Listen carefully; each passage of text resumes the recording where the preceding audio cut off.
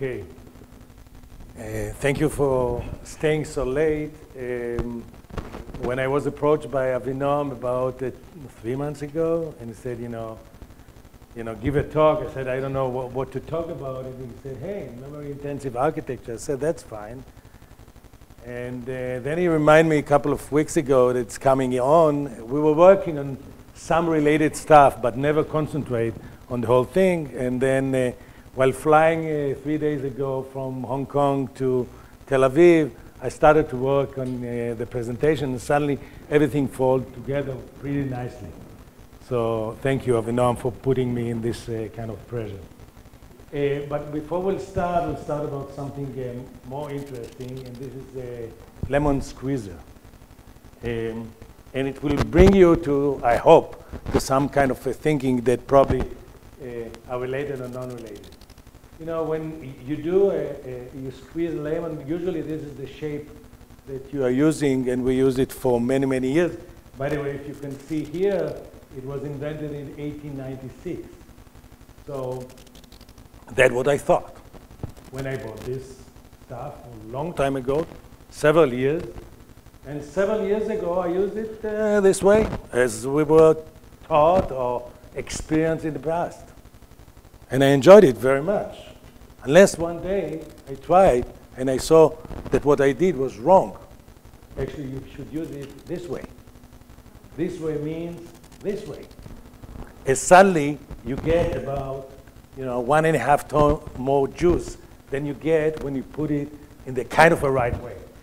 So try to think out of the box. Many times it brings you to a better solution. So this is what we'll try to do here. By the way, I'm not going to present anything real uh, like uh, the, the, other, the previous presenter uh, gave, but really some thoughts about you know, future direction that we, we think to do. So I'll, I'll start with, with the uh, processor, uh, process uh, trends. We'll talk about ends of Moore's law, on-die memory uh, to the rescue. I'll talk about conventional ways and out-of-the-box way, some example, and I'll try to look some uh, forward. You know, everybody knows this uh, graph, you know, going down, you know, and, and everybody talks about it will reach at around uh, seven nanometer, and probably this is more or less the end of Moore's law.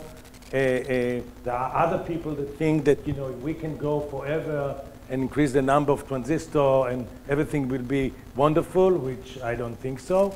And if you look at, at, at work that has been done by Stanford, collecting a lot, a lot of data, you know, we can see the transistors going up, uh, we see the single thread performance of a processor is leveled off. We all know that. Frequency also is kind of leveled off. You know, we still get about 10% uh, process to process, or a little bit more. Power, definitely, we are at a power cap. We can't just consume more than 120 watts and cool it also. Uh, number of cores, we are going up. But actually, if you look really, what happened is that here, oh, you see this one. You know, it will level off someday. That means that we won't have more transistors. A, we see that about the single thread performance. We, we talked about the frequency, the power, and the number of cores. And there's another one, which is the dark silicon, which means that part of our silicon will be dark, meaning uh, we won't be able to use all the transistor all the time. But this is in percentage. And this I drew just, you know, a couple of hours ago. So the basic idea we all know that going forward with a large die, let's say 150 uh, millimeter square, we won't be able to use all the transistor all the time. And more and more out of this uh, uh, number of transistor will be dark. Okay, so, so what is the next step?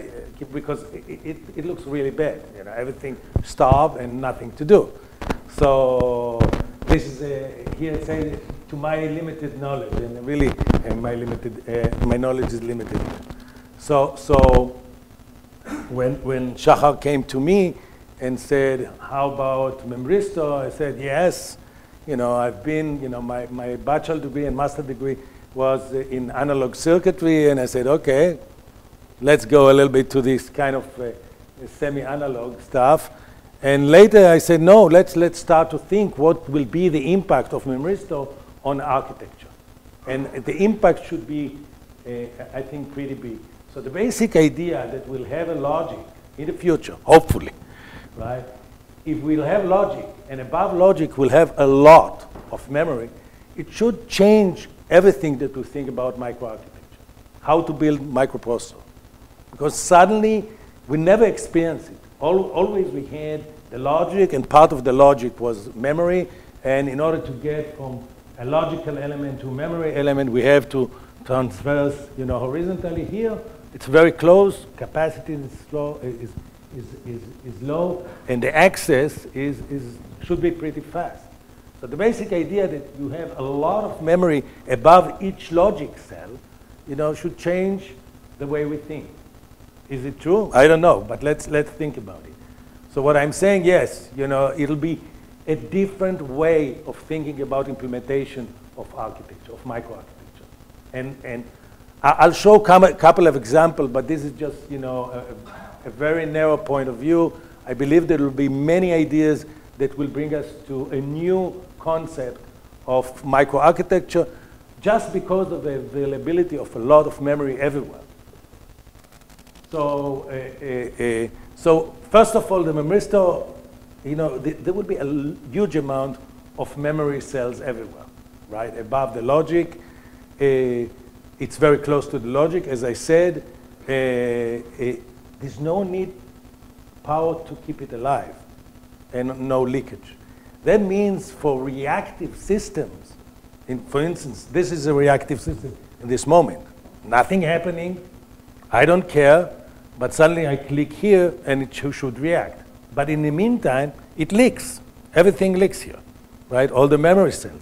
Suddenly I'll have elements that are not leaking. I can wait. Nothing will happen. I'm not losing energy. So that's, that's interesting, you know, from a point of view of elements that we carry, that we take with us everywhere. So, uh, uh, so what can be done with, with, with, with sea of memory cells you know, above logic. And these two approaches. One is the simple one that, you know, most of the uh, people uh, uh, approach is the conventional, let's go another step, evolutionary step to what exists today. And the other is out of the box. So definitely I'll try to concentrate on out of the box, but we'll look at also some conventional ways of doing it. So this is the list of things that uh, I thought about, and we are working on some of them that are related to, uh, to this concept of having a lot of memory cells uh, everywhere. So we are talking about increase of on-die uh, prediction structure. This is caches, branch prediction, uh, prefetch, all kind of FIFOs, and so on. Uh, we are talking about microprocessor, of course. We talk about multiple different caches, the idea that we have a lot of memory. We can use a lot of structures, different structure for every purpose that we, we, we should use. Uh, another idea, everything which is in uh, red should be kind of uh, out of the box and the yellow is, uh, you know, conventional. Uh, pipeline multi-threading will show some idea that actually started when we started to look at memristors and, and still we are working on it. So there's still a work in progress. Um, I won't talk about the lookup table that Tomer Morad brought up but uh, uh, probably there's a lot of uh, ideas to work out on this one. Instruction reuse is something that can be now revived. It's an idea that have been talked about several years ago, and probably, you know, now when I have a lot of memory, I can use it pretty nicely. Instruction queues, I won't talk about in graphics, many threads. The basic idea that today in graphics, you know, you have a lot of threads, but the amount of memory for each one of the thread is very small, and probably you can improve performance by really increasing the memory. And computation at the memory level, and Shachar was talking about it, uh, uh, some of it. So first of all, let's talk about increased on-die prediction structure like cache, branch prediction, prefetch, buffer, and so on. It may impact the power in, in, in, in a good way, because if, if our prediction element like cache will be much better, then I'm not going outside of the die, meaning you know I reduce the power. the same thing for, for branch prediction. The minute I have a better branch prediction, the probability my performance will be better or for the same power, more or less. Uh, um, prefetch, you know, here, here I, I'm, I'm more reluctant because this one maybe that will you know, increase the power by prefetching a lot of data that I don't need later, you know, all kind of buffer and so on. So you have to relate everything to power today. Um, if we, we, talk about increase on-die cache size, this is a work that we did with, with a, a, a student uh, of ours, uh, of Idit and Avinoam, Zvika Guz, who talked about uh, multi-core versus multi-thread. What is interesting about uh, this idea that uh, here we are talking about uh, multiple cores, we talk about cache, common cache, and here we talk about the, the thread architecture states, and, and we're talking about an analytical model that actually looks very simple like that, that bring us to a solution of number of threads versus performance, which is super interesting. And if you look at that, you know, as, as uh, Avinoam called it, you know, uh, be aware of the valley, that the minute you increase the number of threads to cases when we have a lot of cache, you know, here uh, the cache per thread is relatively big, uh, but when you continue to increase the number of threads, you may fall in the performance. And on the other side, there is the multi-thread, the, the, the NVIDIA guys or ATI or AMD guys that actually have a lot of threads. And, and here, you know, the power is pretty high because they go outside of the die and the performance increased. These two guys try to, you know, uh, both of them to go, the multi-thread to go to the left to reduce the number of, of threads, while uh, uh, uh, the multi-core guys are trying to increase the performance by getting more threads, but they will fall, both of them will fall into the valley. But if we have cache, look what happened. So these are results that we have when you increase the cache, you know, Suddenly, the multi-core guys, which are in, in a danger of falling into this valley, is getting more and more performance until they reach the plateau, which is the maximum performance. So yes, increasing the size of cache for conventional architecture can provide us with a pretty good performance uh, uh, in one aspect. The other aspect, which is even more interesting, is that if you increase the, the, the cache size, the performance power is going up. Because if I have a larger cache, I have hit rate, bigger, higher hit rate, miss rate are, are less, and going to the outside world, which consume a lot of power, can be decreased. So this is uh, on, the, on, the, conventional path. The other uh, research that we did, by the way, with the same student, with Zvika, was uh, Nahalal, which is interesting when we talk now about a, a lot of memory. Eh, eh, uh, uh, Nahalal, uh, eh, all of you know, the houses of the people is here on this round, while everything common is in the center. And by the way, the, the name Nahalal to the concept came again from Avinoam. so the center is all the common stuff that exists, and we said, how about building a microprocessor that looks like this? And if it looks like this, uh, we can have a memory or cache which actually be used by data which is shared to put it in. It's not a shared cache, which is there wrong. It should be a cache for shared data, while this is a cache for private data. And the processor are in the middle. So in this case, we said, hey, hooray, we can build, you know, we can build a, a processor, but definitely we can build it like that. And the results that we got were, were pretty good. When we are talking now, let's see, if we talk about a, a, a if we talk, if we know, we'll go now to the next step of Nahalal, means, okay, we understand now we have a lot of cache. Forget about the idea that it have to be in the middle or in, on, on, the side. It's all above the logic. So you should think differently. And then we, have to, we can think about all kind of caches which we started to work on some of them, which is, let's say, you know, space-wise, we're talking about at the top instead of on the side, right? But we can build caches for special needs. For example, how about building a cache for only the simply single instruction multiple data element, the, the data. meaning the minute we are using a large amount of data, right, let's keep it in a special cache. You know, let's be, the floating point can be in another cache, you know, task-related cache and so on. So the basic idea that we have as, as many uh, memory cells as we, we, we want, or if even if we don't want, then we can use it for all kind of ways, and this is just uh, uh, initial ideas. Um, if you look at, at, at another idea that, that uh, we draw related to these memory cells is the, the pipeline multithreading. Uh, if you look at switch on event, this is switch on event. Uh, the concept switch on event actually works in, in a way that you have one thread is running, well, this thread is stalling because of something, you bring the next thread, and if this one is stalling, then you bring the next one, and so on. So the basic idea that you, when, when, a, a, when a thread is executed nicely, you, you, you, you, you, properly deal with it, but the minute it, it stalls, you, have, you bring another thread. So you have many threads that actually cover the stall of the first thread. And this is the concept of switch on event. And we decided to, to, to look at, at, at, a similar case.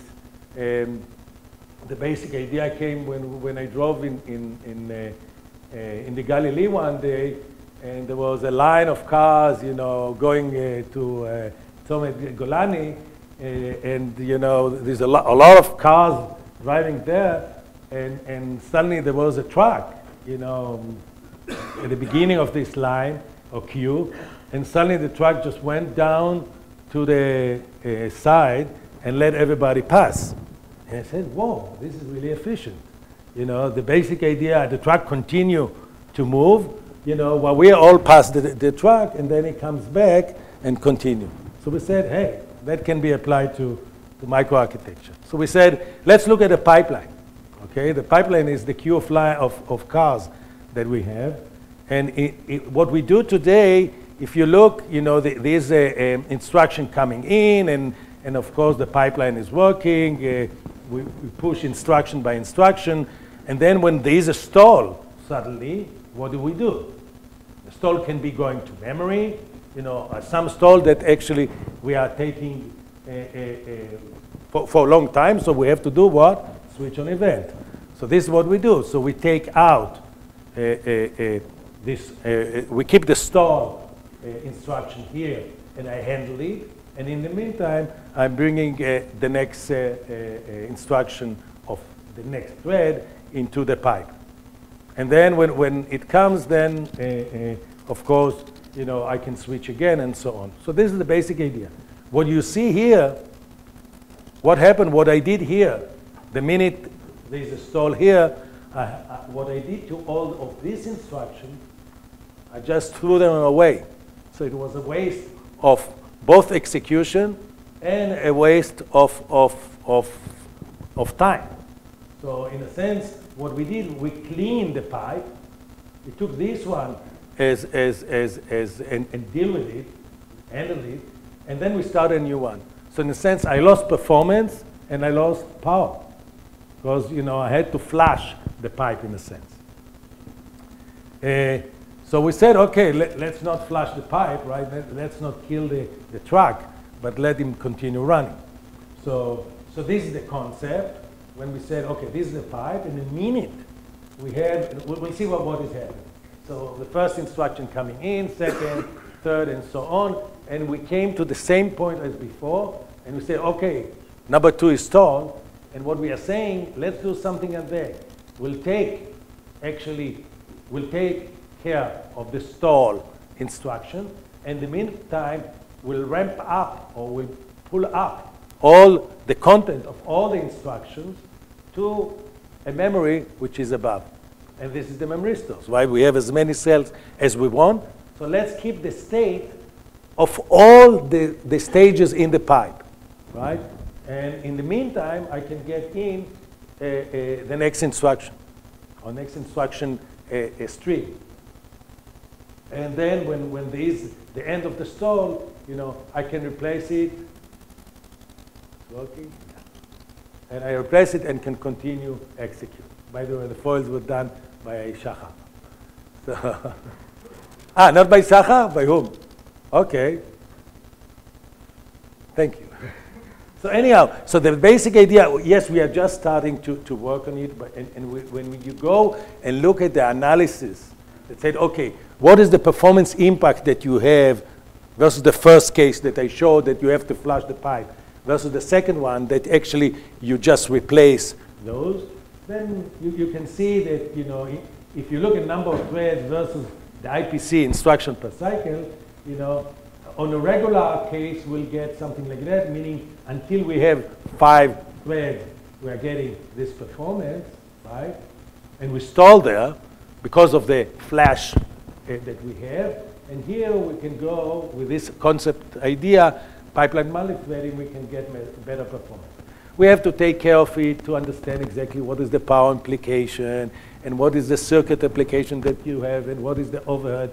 So we are just at the beginning but at least it was really inspired by the idea that we have a lot of, of uh, memory cells.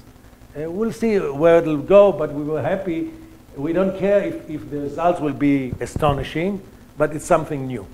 And we believe that in this case, there will be some cases of application that will love to have it and get better performance.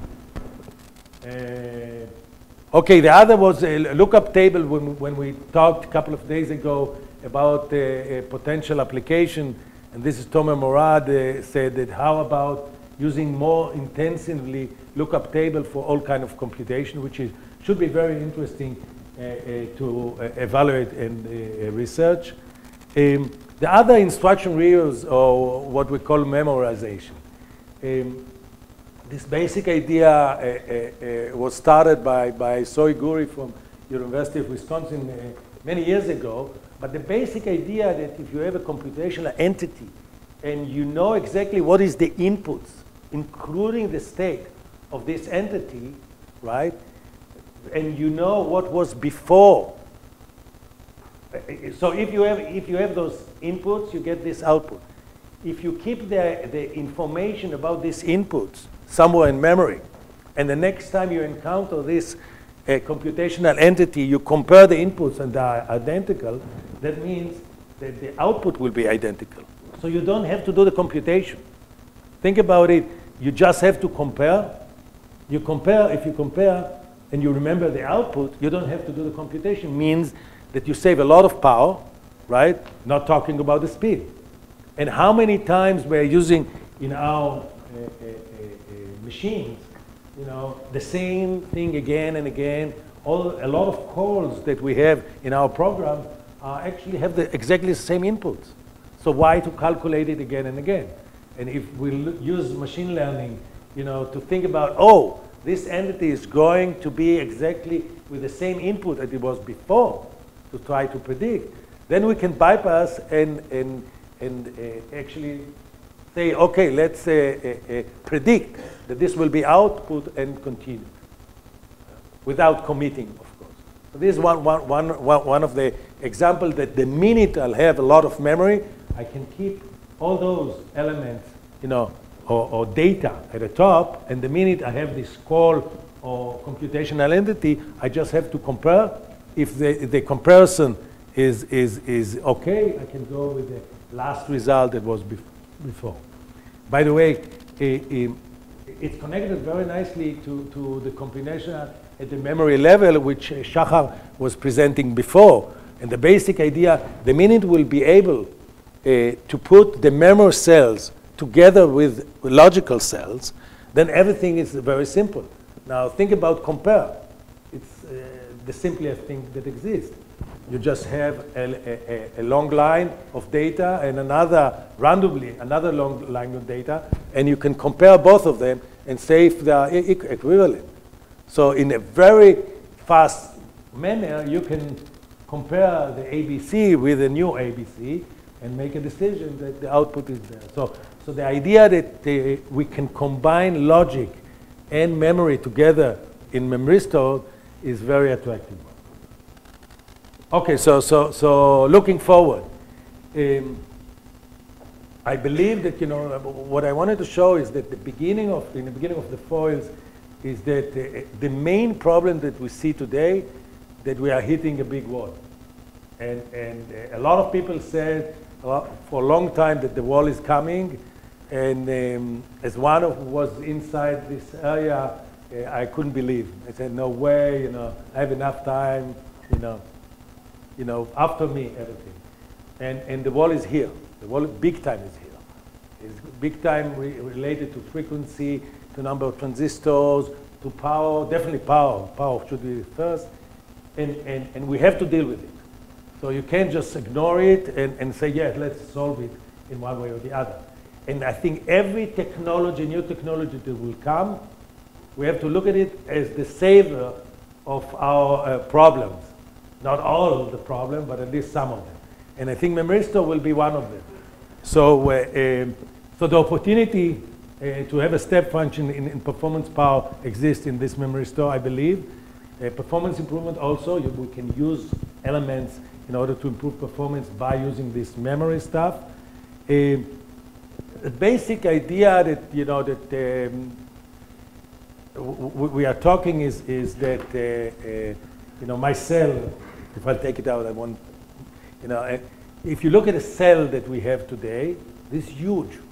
If you can remember uh, um, about uh, 10 years ago, or a little bit more, you know, our cell phone was something, if you remember, was a big one. Look at this. I believe that in 10 years, we look at our uh, mobile device, a cell, and we say, that's terrible. It's huge, right? So we'll have devices much, much, much smaller, and we'll keep them, I don't know, everywhere. And, and, and I believe that the most important element of these devices will be that they will have to be, you know, sub uh, 10 milliwatt uh, uh, devices. And what better is, is a memristor that doesn't use any power when it's not needed, and it's reactive. The minute I need, okay, I'll take the data and use it. Um, I think that, that uh, uh, uh, energy saving in a reactive system, that's what I said. And, and the basic idea that it's new, it really attracts me at least. You know, it's something new to work, and definitely in, in academia environment is, is really the best. Thank you.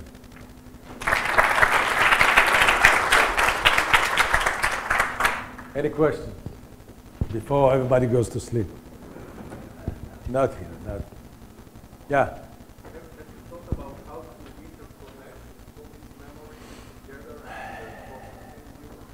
Uh, by the way, in, in, in, my research in general, what I'm trying to do is to um, ignore the gravity. What I mean is that when I'm coming to a new idea, I try to ignore everything else and try to think freely, right? There's no gravity. Because if I start to add all the problems that exist in Memristor, I will never stop, right? There are a lot of problems there. But the basic idea, first of all, I would like to see if it makes sense at all, right? If there is, later I'll start as an engineer, slowly, slowly try to, to build together. So the answer to your question, we didn't stop. Any more questions? There is a last person. Yeah. You actually need a universal memory. Memory makes no difference for you. It's memristor or not memristor. You need a universal memory. Unfortunately, till present, there is no universal memory. You cannot make the memory non-volatile and have it infinite endurance at the same time. We hope for it. So, is it right? So, at present, you can use for this system, for example, only the battery backed SRAM. This is the today's option to develop such systems. Right. Yeah. L luckily, I'm not working for today. I used to, right? But now I'm working for really not tomorrow, but you know, 10 days from now, uh, 10 years from now, not 10 days. and, and, and I believe that the basic idea, I have to look, uh, try to find, you know, a, a, a, in a trajectory point of view, that I'll reach something that will be 10 years from now. So I believe that the, these guys will do the restore that will be non-volatile, wonderful, will work with no endurance of infinity for storage. For storage.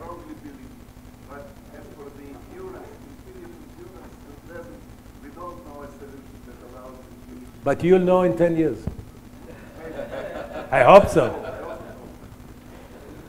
Okay. Thank you very much.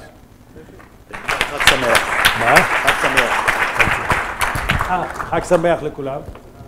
So thank you to all the speakers, the audience, and a big thank you for, to the organizers, and I'm looking at you, Avinoam. Thanks.